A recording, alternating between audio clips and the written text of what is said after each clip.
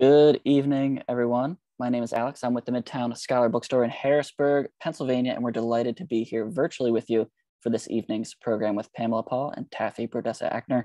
Um, first, just a huge thank you to all of our viewers, attendees, customers, and everyone out there who is supporting indie bookstores. The challenges continue as we ramp up for the holiday season, but we're honored to be able to offer programming like tonight's event. Um, I'd also like to give a shout out to our partnering bookstore for this evening's program, and that is Politics and Prose in Washington, D.C. But with that in mind, it's my honor to introduce our speakers here this evening. Our interviewer is Taffy Brodesser-Akner. Taffy is the New York Times bestselling author of Fleishman is in Trouble and a staff writer for the New York Times Magazine. Our featured author this evening is Pamela Paul. Pamela is the editor of the New York Times Book Review and oversees books coverage at the New York Times. She is also the host of the weekly book review podcast, and she is the author of eight books. Of course, Pamela's new book that we're here for this evening, here it is. It's titled 100 Things We've Lost to the Internet. Um, one blurb, I've got to read this one from people who write, quote, a deft blend of nostalgia, humor, and devastating insights, end quote. Uh, a couple last minute things, some quick housekeeping. If you have a question for Pamela or Taffy, please use the Q&A button towards the bottom of the screen below our faces here. We'd love to hear from you, so ask away at any point and we'll try to get to as many questions as possible towards the end of the program. Um, and most importantly, if you would like to purchase a signed copy, here it is once again 100 Things We've Lost to the Internet. Please visit our website at midtownscholar.com or visit Politics and Prose's website, or simply look in the chat room to the right for a link. That is the number one way to support the author, the bookstore, and this event series. Again, signed copies are available at Midtown Scholar Bookstore and Politics and Prose. Um, but now, without further ado, Pamela Paul and Taffy Brodessa Ackner. Hello, everybody. Hello, Pamela. Welcome to your internet event to promote your book about how terrible the internet is. Well, it's, I would say that other than people in Silicon Valley or people who live in the backwoods, I have the same tortured, codependent, love, hate, complicated relationship with the internet probably as 98% of other people. Probably. I also think that that you say what's interesting is that the internet is a place where you're supposed to root for the internet, and in that it's the only space right now that really exists consistently. Um, it's a it's a it's a book. It's like a very it's like a strong point of view to come out um, with right at this moment that like actually the internet has been it has been a mixed experience. It's given a lot of people a lot of access to things that they didn't have before. And it's taken a lot away from us. I would like to know um, I've known you for a while, and I've, I know that this is sort of the strain of your thinking about technology. Um, I know that you're still reading your books as books uh, whenever you can, and I know um, that you are that you that you still have a DVD subscription service that comes. you knew it helped me. She's the one. She's the reason that uh, that you can still order DVDs to your house. Um, but I would like to know what the moment was when you decided, when you thought this needs to be sort of codified. Because to me, it seems more like a like a book that belongs in the Library of Congress, right? That like here are just so you know, here are the things that we lost. Well, yeah, I mean, it's true. I did plan the pandemic wrong. It was supposed to come like a year after. No, it, I did have this thought process that I think every author did, no matter what kind of book they were writing when the pandemic happened, of like, oh no, what's happened to my dystopian novel about, you know, a cataclysmic virus, or I thought it was going to be climate change, or whatever the book, it kind of forced, I think, writers to reassess where they were. And so when we first went into lockdown, I thought, well, I'm writing this largely critical although there are some things that the internet has swiped away that you know i think some of us are grateful at least some of the time. So it's not all negative. But i thought uh-oh you know the pandemic is really showing just how valuable the internet is. I mean not just for me for everyone. It gave us access to vital health information. It gave us access to the news for those of us who were lucky enough to be able to work remotely, it allowed us to continue to earn a paycheck. It allowed things to function. It enabled us to get things delivered to our door, you know, sometimes the next day to order online groceries, to attend, sadly, you know, funerals um, and memorials for those who died. So the internet was quite literally a lifesaver for many people. I think as the pandemic wore on, it was interesting because then it, a little bit you know it started to prove the point that well yes the internet gives us all these things but there is no denying that it's taking things away. Once our lives became all internet i think anyone who had a child in their life whether they were a parent or they were a kid or a teacher or a special ed educator or an administrator realized that the experience of attending a kindergarten zoom for example or even a high school zoom was just maybe 8% of what you got in person and right. not just in terms of the education but in terms of all of the social emotional stuff that you would get. So if you were a kid who just moved to a new town and didn't know anyone there was no way that you were going to like find friends to hang out with on the little you know brady, Bo- brady bunch um, you know array of squares. You know you couldn't give anyone like a fun gesture. You know you couldn't make eye contact. And for kids who are trying to develop social and emotional skills like that was just it was a non-experience and actually for many you know quite anxiety provoking i think frankly not just for kids for all of us to be right to have our lives reduced to the screen. So I think weirdly, the lockdown ended up proving the point. But as you said, the idea for the book stemmed from a long time before this. I think when I look at um, some of my earlier books, one of the common threads that runs throughout is looking at consumer culture, looking at products and services that are sold to us that we often buy willingly, um, and seeing how they affect the way we conduct our daily lives. Right. And with this, what's interesting to me about technology is that with technology like we are we are such good consumers we are such willing purchasers of this um, sometimes because it's all supposedly free although i think that we now know it's actually not free right. there are many um, costs that aren't often indirect um, but also because the message that we get from technology companies whether it's an app producer or someone that's selling um, you know a suite of services to a school the implication is that if we don't buy it, that we are somehow Luddites or holding back or resistant to change, that the problem is us. And I think that when we're buying something like a pair of jeans or we're sold something like a new sweater or an interesting eye cream, we're much more skeptical consumers. We're like, meh, I don't actually need that. Like we would, we tend to filter the message better and not to think poorly of ourselves as consumers if we opt out. And it's interesting with technology, it's kind of the opposite. So that that intrigued me. And then the other thing the other impetus was largely that with the internet, we are so forward looking, right? We're mm. constantly like, wait a minute, what is this new thing? I don't know about this new thing. Does everybody else know about this new thing? You know, has everyone else downloaded this app? And what does it mean for what's going to happen tomorrow and next week and for my kids when they graduate college? We're always just looking ahead, looking ahead. And every once in a while, we maybe pause and we're like, wait a minute, when did we all start using Venmo? When did we stop using PayPal? When did we all switch to Zelle? You know, and you sort of pause and you think like, how did we get here? But what we do a lot less frequently is stop and really look back and think to ourselves, wait a minute, like, what did I do with my day before I woke up to the iPhone, before I am like sat in the bathroom, like scrolling through my messages, right. before I tried to go to sleep at night, but then I was like, I have to check one last thing. I need to just make sure one more thing. I need to see if that email arrived or if I got that Slack message. Like, what did our lives look before that? And that's kind of what I wanted to do with the book. Take that that look back to kind of remember, and then for readers who weren't there, you know, for the the Gen Zs and the millennials and the Gen um, what else we have? Uh, I feel like we're, we're the babies, right? That is interesting to them. Like they don't know, they don't know. And I actually think, and and there's some interesting, you know, signs of this that they're really curious. Like, wait, what was it like in ye old timey days only 20 years ago? You know, it's a lot different from the old timey days, like when you and I, Taffy, were in high school. Our parents' old timey days, or like the old timey days from the 70s or the 60s, didn't look that vastly different between ours and theirs. I mean, I remember being like, I could not believe my my grandparents didn't have television. Like it made no sense to me.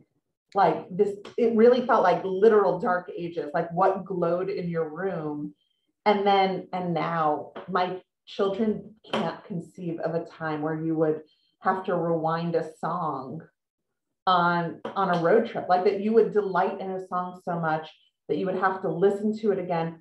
I actually think that they do not they do not delight in the song the way we did. They don't have to feel, feel any work for it. They could just keep listening until they're done listening and then they could move on. There's no acquisition there's no waiting and those are the things like the things that you're talking about are are so dopamine based right like the we're raising generations of people who are addicted to dopamine and we are maybe the last generation that remembers not being addicted to dopamine to the point where when i check my phone in the morning my like i'm so ex- i need the the excitement of what happened what was i asked to do what interaction have I have I has been initiated for me. Right. And also what you're talking about in terms of the acquisition of things is very much about the fact that there used to be a bunch of places where we would meet. And if you were like me, you would be at a movie theater or a bookstore. And if you were like you, you would be, you know, at the gym or the horse farm, you beating someone else, right? I was gonna say, what are oh, you saying about me, Chucky? I'm saying like you would you would be able to find, and now everyone's just in the same place. Yeah. And that is really sad to me because it takes it does take place in this in this one in this one space. And the thing that the pandemic did was not was there was not even the other, other space to fight for. What do you think? So you started trying to write this before the pandemic happened, and then you just continued. I'm so interested in that. I want to know do you think you would have continued, you would have thought of it if the pandemic had already happened? Like, did it seem like still something that, that, that you didn't want to wait out to see, you know, how it goes because it's, yeah. But also, or did you, did it feel like this wistful, like I want to write it down before I forget. Because that a lot of this, I want to say one thing. I see that you want to answer me, but I'm going to say one thing that this is very beautifully written. And this is this is a very wistful, it's an unpopular point of view to say, like, you know, this, like, look what we used to have. But it is also beautiful to not hedge about it and to miss things like terrible pictures of yourselves or magazines or or missed connections or running late or being alone like it it, it filled me I, I had a lot of feelings reading it and i and I tweeted about them. Oh, well, I, I, like producing feelings with my words. Um, so thank you. I have so much to respond to in what you said. I want to actually go back just a moment to the music thing. There are, there's a lot in this about music that, yeah. you know, has really changed in terms of our enjoyment, like the mixtape, you know, remember all the work that would go into putting together a mixtape. And also you knew what kind of person a person was, the way they assembled their mixtape, like they cut things out from magazines for the cover and they cared about the i mean i guess people still do when they make a playlist but to hand somebody a mixtape and say this is just for you. Yes. It, it, basically meant you were engaged right? Yes. Yes it ain't the same. I mean the other thing is that you would you know it took a lot of work and dedication. You you didn't necessarily own all the music. So sometimes you would sit there with like your hands on the play and record button listening to the radio and being like i hear the beginning of the song boop boop and you know you'd press mm-hmm. it. And then if you missed it if it cut off poorly and it didn't make the cut for your mixtape you just have to wait for that song to come on the radio again. Like that is something that is unfathomable. But on to- the other hand, that was when we would let like whoever owned Z100, like like Westinghouse, decide what we listen to. And now one of the prices we pay is also some great gift, which is that we have access to all the different kinds of music that music that it's not curated for us, that we can like wander. Like, yes do you think that was like a like was that worth it well, look, there are pros and cons to it, right? Um, I think the idea of curation is really interesting and it applies to music, it applies to news, it applies to social media, it applies to magazines. So to talk about it in terms of music and, and, and a little bit more generally culturally, um, on the one hand, it is good to be in charge of your own curation, but it also means that you might not necessarily be exposed to things that are outside what the algorithm is delivering to you. So while you might say, like, oh, well, this DJ was curating it, um, and you kind of got to know the DJs whose tastes you liked, or the MTV VJs, or whoever it was. Um, the idea that it's not really curated now, it, it, it is, it's just curated by an algorithm. And it's also curated by who's paying for promotion to have their music promoted via the algorithm. So it, it it's still somehow curated for us. But I also think that um, and just going over to magazines because you mentioned that a magazine used to be something that was deeply curated the front of the book the well the back of the book and it reflected an editor's tastes and her sort of team of editors and what they sort of thought that someone would want from a you know a, a, complete whole that was offered whether it was on a weekly basis or a monthly basis. And that's all lost in a system where everything is kind of delivered to you bits and pieces and you don't actually know like that this was assembled by someone who had a kind of well, overall you were supposed to read this in order. Like the yes. pressure of like of like leading up to the big story and then coming right. down. And the really- same thing is with an album. Like an album was curated to listen to in a particular order with an A side and a B side. And you used to go over to your friend's house, you buy an album, you tear off the plastic, you know, and you put it on. And nobody like picked up the needle to move it to like the next song. You just listened to it all the way through. I mean, later on, once you got to yeah. know it, you play around a little with that needle, yeah. but um, but you would listen to it all the way through. It was just a very different kind of listening experience. Whereas now, you know, when kids are on Spotify, they'll hear sometimes they'll even when it's a song they like, they'll get like two thirds of the way through and they'll just click forward to the next one because there's no cost to it. And they're like, I know the way the rest of the song goes. I don't actually uh, and that's you know anything about music. Why are you listening to music at all if you know the way the song goes, right? Right, right. Um, and then, you know, thinking about curation in terms of the news, one of the things that we all lose again when we become our own curators is then we're also creating own, our own worlds in which we inhabit. And that can, yes, deliver us the things we know and like and are interested in, but it can also really limit the scope of what we're exposed to. And so when I'm reading, for example, a broadsheet newspaper and I'm turning the pages and I know what I'm interested in, something out of the corner of my eye might nonetheless attract my attention. And maybe it's a story about you know water development in ethiopia that like if you had said to me this morning what would you like to read about? I probably wouldn't have said well i'm really interested in water policy in ethiopia. That wouldn't have been on my list but i see it there something in the photo or the headline or the subject captures my eye and i think you know that looks interesting and I'm drawn to it. And that's what broadens our, our horizons. And I think we all have the experience, like as a bookish person, and I'm assuming there might be some book oriented people here in this Zoom. Um, I go onto Twitter sometimes in the morning and I'm like, this is so nice. Everyone is tweeting about books everyone everyone is so into the literary world. And then i realized no pamela that is because that is who you are following. You are in your own little tube. Everyone else is talking about you know rihanna and nascar and what's going on you know in uh, you know at a climate summit. And they've all got their own other their, their other things going on. But i've self created this world. And even though i know that i have it's not it's very difficult to constantly remind yourself like oh right. i am only seeing these views and opinions because that is what i have asked to see right um, i want to tell everyone who's out there um, that um, in about 10 minutes i'm going to start answering questions so please send your questions ahead um, while we're on Pamela's lawn before she kicks us off of it. I'm kidding. I just wanted to make that joke.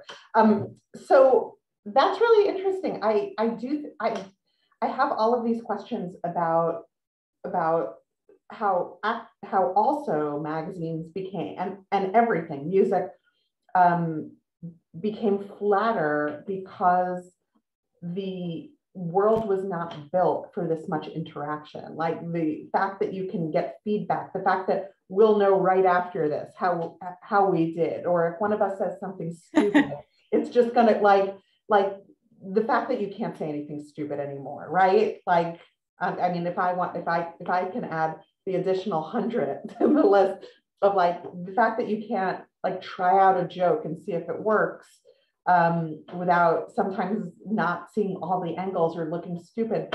I think that that has spread its kind of tentacles. That notion has spread its tentacles to sort of wanting to be the least offensive version of things. I'm I'm into not offending people. Like good. That's good to me to not offend things. Um, to not offend people, to not be offensive. However, I do think that we have lost this, uh, that we have lost sharp points of view, and that people with sharp points of view are kind of banished to this this other region. Right. Um, well, I think what's happened is so, you know, you have these different vacuum tubes, you know, that we're all sort of in these silos. And those people whose views offend you are all in their own silo and they're perfectly happy there. They think everyone agrees with them there. It's just that yeah. you're not exposed. Or you're an, and you're an idiot. Yeah, you know, they don't have to look at you. That's the other right. thing. There's nothing having to look at people as you talk to them. Right. Well, yes, anonymity obviously is a very un, uninhibiting. Um, I don't even think it's anonymity because it's gotten to the point where it's people who know each other. It's more that you don't have to look at the way you're hurting somebody. Like we're evolved right. right. in a room with people and and not want them to look sad when they're talking to us one of the lost things is, of course, empathy, because it is a lot easier not to worry about how someone else feels when you actually truly don't know and you're not seeing them. All you see is, say, a Twitter handle or you know a name on Snapchat. You don't actually know this person. Maybe they're just a friend of a friend of a friend of a friend, and none of them actually have ever met in real life. Um, but what's interesting too is within each of these silos, of course, there is a range of acceptable and unacceptable opinion. And then there is a middle ground where maybe it's a little bit iffy, but those unpopular opinions, which is one of the lost things, get filtered out because you're like in this space, according to the rules of this space, I know what is safe and what isn't what I think about, you know, the fact that everyone is constantly watching, watching one another and listening, I think about that in particular. It gets hard enough for you and me, right? Like, and we're normally well-adjusted, full-grown adults. But I think about, well, semi. Um, we're getting there, Taffy. Um, but like, I think about things that would have been utterly mortifying to me as a teenager, like walking out of the girls' room with like a piece of toilet paper stuck to the bottom of your foot, right? And so, like, a few people in the hallway might notice. But now, what will happen is someone can videotape that. They could post it to Snapchat. They could turn it into some kind of meme. It could end up on YouTube. Like it just keeps going on and on. And while, of course, the internet will like forget about it maybe in an hour because someone new will do something else stupid, it's still out there and it can be resurfaced. And what wow. I find, you know, that that's interesting. And I think, you know, the last chapter of the book is is closure, which is just gone, like nothing ever ends because everything can be sort of regurgitated and resurfaced at any given moment. So you don't get to escape that feeling, not just of being watched and observed and judged in the present, but also of everything, you know, sort of coming back up from your past, whether it is an ex boyfriend or a silly thing you once said or a dumb joke you once told in a completely different context. Um, it all comes back internet comes for us all, is the way my, I think of it. My dog is barking, and I'm sorry. I, have upset him. No one does. So everyone, that's my dog.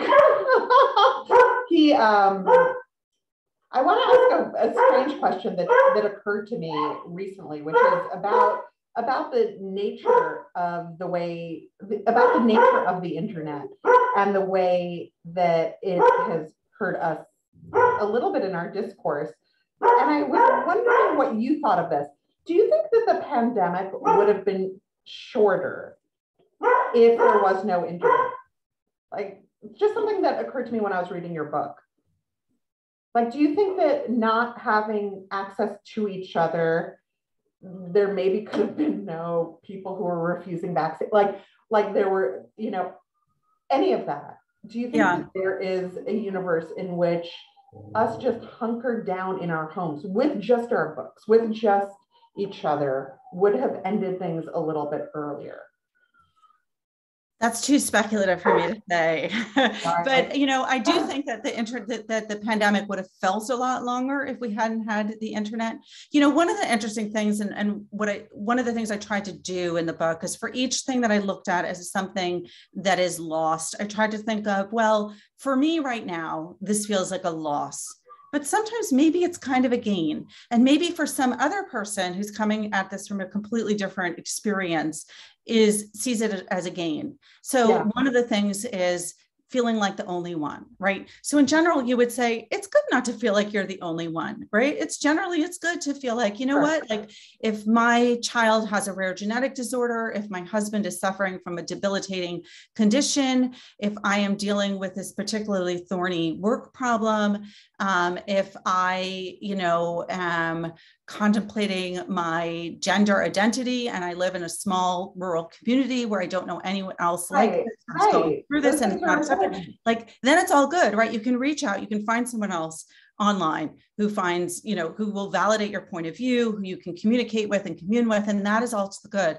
But then again, kind of turning that, like, well, let's look at it from this angle. So being the only one also can kind of feel like you're not that special you know like you might think that you have this really cool you know hobby which is disassembling old watches taking the parts turning them into collages spray painting them mounting them on like a big poster board and hanging them around your house you'll go online and you'll find out there are actually dozens maybe hundreds of people who do that exact same thing they do it better than you they've been doing it longer than you and they're more well known and you may as well just lay down your you know your your sort of oh. right now and give it up so that's a kind of negative way and then again being a little less serious, a little more serious here, like the internet can also validate really unhealthy behaviors, right? So there's been obviously with all the the uh, revelations around Facebook and Instagram and the effects that it has on adolescent girls in particular, yeah. a lot about body image and eating disorders. And there are places to go where if you are um, a child at risk of anorexia or bulimia, it's perfectly fine. There, it's perfectly acceptable to certain communities that do that online. And so you will feel like, oh, maybe it's okay because all these other people here are doing it and they're all saying it's okay and they're validating that experience so for each of these things you know there's kind of there's just different ways to look at it so some of the some of the losses are also gains and, and vice versa i mean it's like anything else it's good it's bad it's terrible it's not great, but it's so it's fine. Um, I, I like to run in like a fun slash depressing lane, generally speaking. So it's always both. I mean, I don't think of this book as depressing. Like, I think that I, you know, I can make a lot of like get off my lawn jokes, but it really is like a, it's a book about about the changing of an era. And I, there, the throngs of people who are here have questions for you um, because I've gotten to ask mine. Um, everyone has gotten to see what it's like to be in a room with us when we're alone, which is we just talk too fast at, at each other um, and never get to the end of anything. um, but here, it, here are some here are some really great questions. Um, Julia asks, um, what what is your how do you explain to your children? Um, how do you make sense of what it was like for us? Like I'm sure that you have to discuss with your children all the time. This is not how we used to do it. Like what what what are the highlights you bring to them? Well, it's funny. I'm going to I'm going to give you a non-internet technology story that happened relatively recently. Okay. So um, we have a car and we have a number of sets of keys to the car, and we just generally don't always know where those keys are. So I at one point um, a few months ago, I took the key of despair, which is like the one you get from the dealer that doesn't have the fob on it. You know, it's just a little mm-hmm. ring with a key, and I brought it out to to the car and I opened up the door with the key. And my daughter, who's 16, was like, "You can open up a car with a key." And and like it, it's that like level of obviousness that I feel like applies to so much of pre-internet right. life. Right. You know, like we have so my kids, I think generally know my sort of nostalgic slash, you know, um, my, my nostalgic temperament and i am you know a, a, a storyteller sort of, of, of habit so i'm constantly saying like the olden days, you know, mm-hmm. just as my father once did to me, although not about stickball in Brooklyn. So, uh, you know, we have in the in the kitchen, we have an old-fashioned kitchen phone that has a cord and it actually doesn't really work that well. So it's sort of proving the its obsolescence. Um, but it's really crazy for kids to realize that that's what you used to that was your cho- that was your only choice you know yeah. that was all you've had. If you wanted privacy you tried like hell to get that thing into the bathroom or to like go into like a little corner and like talk like this yeah. into the receiver. Um, and you know and when you think about it you know i'm not quite answering this person's question but like what i try to do with this book is like then remember all the little things about it. So like this is gross but that that that cord was really fun to chew on. Super dangerous. I don't recommend it. But like you know Did you not chew on the? board? I'm sure I chewed on it, but you're right. Like I'm remembering. That's a terrible idea. It's a, right. It was a chew toy. It was a terrible idea. Right and now. also it would get so tangled. Remember how like the coils were all to go this way, but somehow but sometimes they would it would go the other way. And then you'd be like on the phone. And while you were on the phone, you'd fiddle with it and try to like unturn. It's just all those little details. Um, and then to directly answer your question, um, my two kids uh, who are here have both read the book. Uh-huh. so they're uh-huh. like, oh, wow. Oh, yeah. Um, now we understand you a little bit, slightly okay, better. So the answer is to buy this book for your child, Julia, um, and all your children. Um, someone wants to know how you organize your bookshelves, which I think is a way of saying do you organize your bookshelf? No, what a mess it is back there, right? Um, my books are so poorly organized. Um, but you know, okay, this actually comes to a point in the book, which is that now that so many of our things are digitally organized, uh-huh. we have, I think we are losing the ability to, like most of us as human beings, have a kind of um, spatial relation and visual brain. And so for me, these are in no order whatsoever. Um, uh, there's some small pockets of order, like you might see there's like New York Review of Books in one place, and there's like Penguin Classic drop cases in one place. But generally speaking, there are no order. Yet in my brain, I know where I saw a book last. And so, yeah. and, and this is my this is my bedroom bookshelf behind us. Uh, but then I have my office bookshelf, and I have the living room bookshelf, and we have the kitchen bookshelf. There are bookshelves. Obviously, it's a problem, an occupational hazard all over the place. And I have a kind of space knowledge and and what's funny is my kids too don't order their books but they have a vague order. And when i go in there and try to like reshelve things they get really angry. Of course they do. As they should. Your children. Um, this question is for both of us. Do we have a favorite nostalgic thing that we've lost to the internet that we wish would make a comeback? You go first. Oh my God. Okay, mine cannot make a comeback. I'm going to come up with something existential, which is that I really, really miss. I'm not very good with meditation and all those kinds of healthy ways of thinking.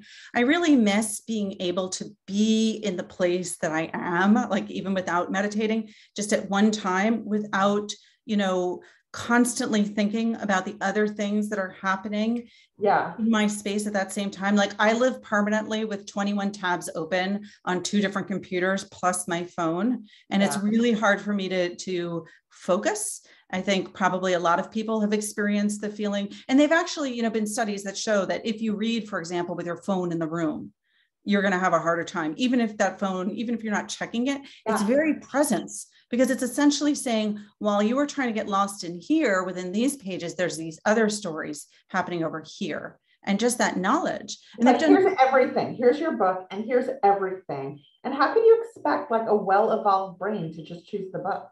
Right. Well, our brains are still not, ca- look, if our bodies are still trying to catch up with processed food and it's been like, you know, a long time, it's yeah. been decades since we've had this stuff, think about our brains. Like we are not yet caught up with mm-hmm. how to process all this. Like we've picked up many, many habits that yeah. on, a, on a sort of surface level, we now all think in this way, this internety way. But I think that there is a kind of lag with our like our deeper brain and our body where it's like hold on just a moment.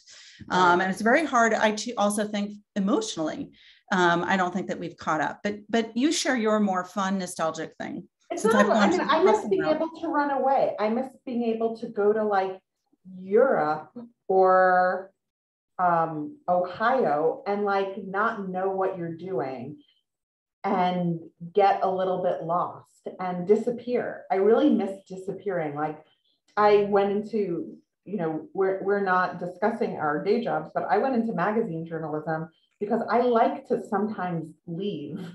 And now I never leave. I was in Russia getting calls about homework from my, like, it's just a different experience of what you're like, how you're allowed to exist. I think what we're saying is that is the same thing. I do miss I do miss telephones, like not phones, telephones. And I miss the. Well, these are not phones. These are portable internets. Like, yeah, these are, call yeah. it a phone is so ludicrous. I mean, I remember watching the Jetsons, and this is what they would do. They're like, it's like a computer telephone. It's crazy. Um, I miss. I really miss being able to. I miss the way your time was spoken for, which by the way changed when voicemail came along, right? Like, like if you couldn't get me, you didn't get me. And now we imagine that there's so much more time and there's so much more that's expected of us. Like our metabolism for information is so much higher. And I, I, I really miss that. I also miss um, movies. I, I miss the way movies have changed as a result of the internet and like a sort of intolerance for just a weird movie that you might walk into or a sneak preview or not having every minute planned. But this isn't about me. This yeah. no i think you know one of the things that's lost is serendipity and mystery yeah. and and one of the things just speaking of, of, of watching a movie is like trying to figure out who the actor is. Like is that dan hedaya or is that david paymer? Like character actors now we know every single law and order episode they, they have a story in, in vulture. They got like a big story in vulture. Um, justine asks a great great question. Um, oh by the way that was from jenna. Thank you from thank you jenna. Justine asks um, so vinyl records have made a comeback with millennials.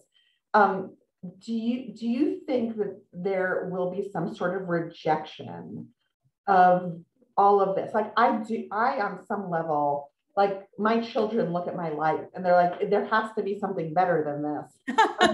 they'll be able to to cultivate, or or if they'll always be like the last person who got who, who didn't have a cell phone and ruined everything for everyone because how do you make a play date for your kids if you don't have, like that's what I would like to know and that's what Justine would like to know.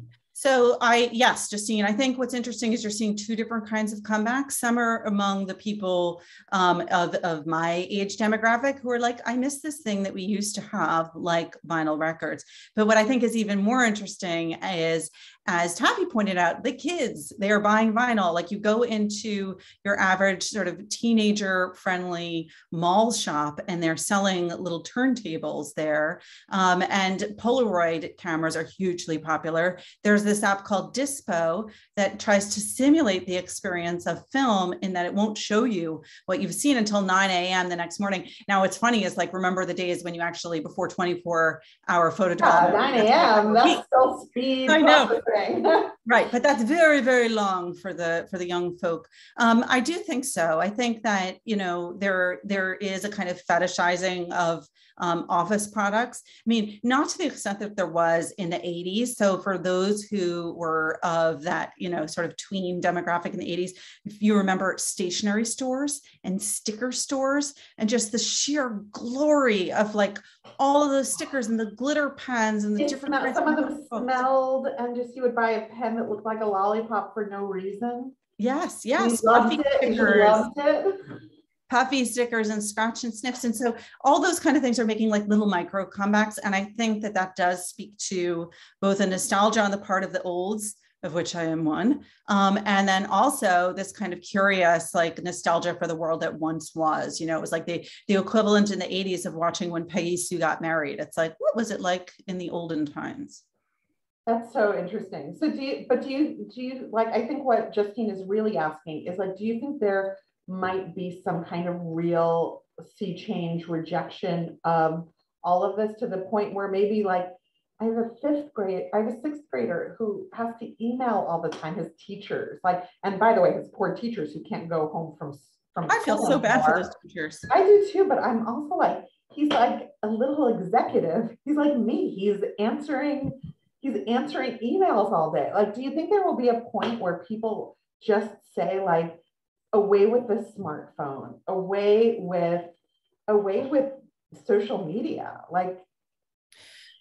You know again it's it's it's i'm not very good at predicting the future. I'm better at dwelling on the past but i think that you know these are very powerful companies. Um, these are um, systems that have a very deep and t- like tight stronghold on our institutions um, the ways in which the technology industry, for example, has infiltrated schools is very tenacious. And what are they doing? Really, it's customer acquisition. It's like any yeah. company, whether the they're selling right, whether they're selling cereal or detergent, they're trying to imprint at the earliest age their brand and a reliance of brand loyalty on customers. So that is why, for example, Google sells really cheap Chromebooks into schools at the district level and persuades them to adopt a tech friendly curriculum. And, you know, this is all done under the guise of, well, this is to impart 21st century skills. Now, that sounds good. And to a certain extent, it is certainly true. On the other hand, 21st century skills could mean many things. It could mean environmental conservation and, and, and, and um, you know, combating climate change. It could mean healthcare, and in particular, elder care. It could mean mental health. And yet, none of those fields have overtaken the school curriculum to the point that children are learning like nursing skills um, right. in grade school rather than getting iPads in kindergarten. So, like, whether there will be a sea change on that level, I don't know, because I think, you know, this is a very big industry and it is very entrenched at this point. Oh my God, so depressing. You're right. You're right. Um, Jeff would like to know if there's anything that didn't make the 100 list. I'm always suspicious. Jeff, I agree. I'm suspicious around numbers. Did you have to get to a, like, did you have like 97 great ones and you're like, I'm just going to go for uh, for 100 or did you have 102 great ones and you had to kill a couple of your darlings? So I think I started my original list was like 212 and it went down to 168. And then, you know, what I tried to do, and really each list, each chapter in this book, it has one chapter title, and yet often it contains many things. Because, of course, when you think about something like the Rolodex, you're also talking about all these other desk items like whiteout, like staple removers, yeah. like um, you know, there, are just a lot of paper-based products that all then fall within that that chapter. Right. So um, so I, I sort of tried to get them into kind of general categories, but there are definitely more than 100. Um, and I tried to get. What was your favorite one that you lost? One like that I'm happy that's gone.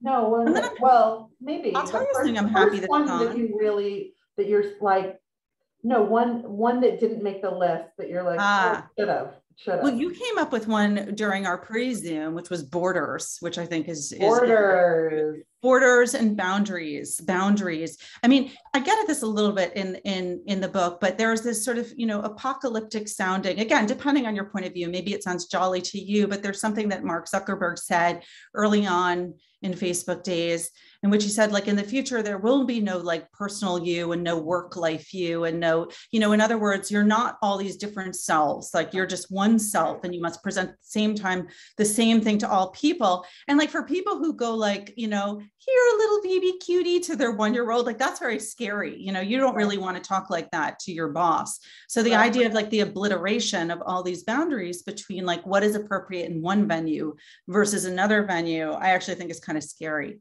but I'm going to answer the question that you tried to ask but didn't quite, which is something I'm happy that's that's that's gone is yeah. losing the ticket because wow, did I lose tickets? I mean, you cannot lose your plane ticket. You cannot yeah. lose your train ticket, your concert ticket, your metro card. Like you now have it on your phone. Of course, you can lose your phone. Do you know? I don't know anyone who loses their phone.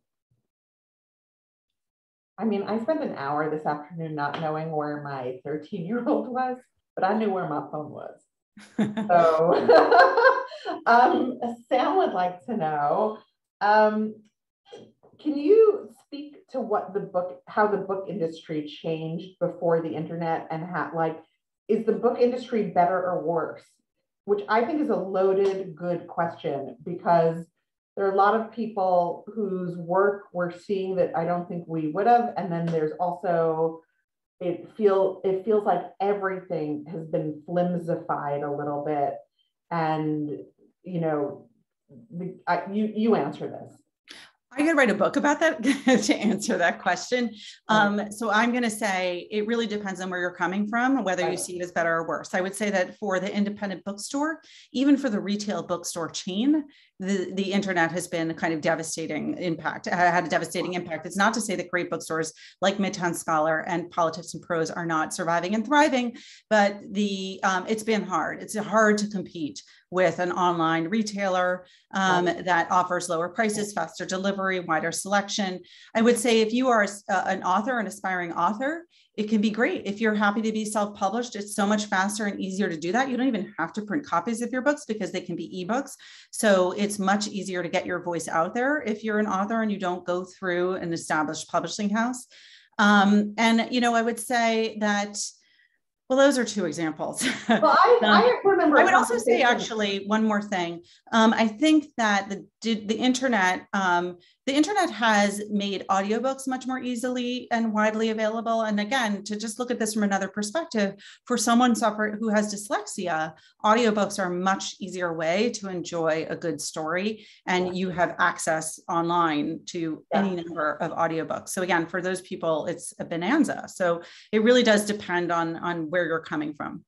Right. I I mean, I also remember that there was a conversation a few years ago about um, the not the polit the sort of tastes around using using the internet to promote your book. Um, like like we are now but before before there were zooms because we didn't do this a few years ago um, like tweeting and and all of that. And I do think that like what people don't take into account is that a lot of writers don't have the like do not have the um the per like they don't have a the personality that wants to do that that wants to be a public figure with a with a handle um and that for those people it was a lot easier when there were um, there's just a system of, of gatekeeping, but also that those gates kept a lot of people out. So yeah, I'll say right. one thing about gatekeeping. Book about this. This should be yeah. a book. I mean, I totally agree with you. Like it, it, it can it, it can feel like a lot of work, and it can feel difficult. And for those who are shy or retiring or private, it's hard to come, you know, to to be out there. But here's one positive side: like mm-hmm. Judy Blume is on Twitter. If you are a kid reading Judy Blume, you can oh tweet God. at her, and, and what she, if she doesn't answer you? Well, but she can, and you can go if you're a kid who loves, you know, Wings of Fire. Um, you can go onto the fan website. You can find other kids who love that series too. You can see, like, you can you can enter into chat rooms with them. So there are lots of ways that I think, demo, you know, the ways in which the internet democratizes mm-hmm. not just writing, but also the enjoyment of writing. And so that again is a is a positive thing. Um, well, this has been absolutely wonderful. Everybody, this is like, this is a great book. It is a great book um, to lose yourself in. It's a great historical document. Um, Alex is here to kick us off of Pamela's lawn. Um, but in the meantime, I want to say that I really enjoyed this book and I loved talking to you about this. When's last time we got a full hour to talk, Pamela? I know, I know. And I also want to say, just in support of Midtown Scholar Bookstore and Politics and Prose, that they have signed copies on hand. Um, wonderful, independent, local bookstores for you to get this book and other books and Taffy's books from. So please do. Thank you. Thanks, Pamela. Thanks, Taffy. This is an incredible conversation. Thank you to our audience member. Thanks for everyone for tuning in. Once again, as Pamela was saying, 100 Things We Lost to the Internet. We both have signed copies. So look in the chat room or simply hit up our websites or visit us in store. Um, and thanks again. Everyone have a good night. Thank you so much. Bye. Thank you.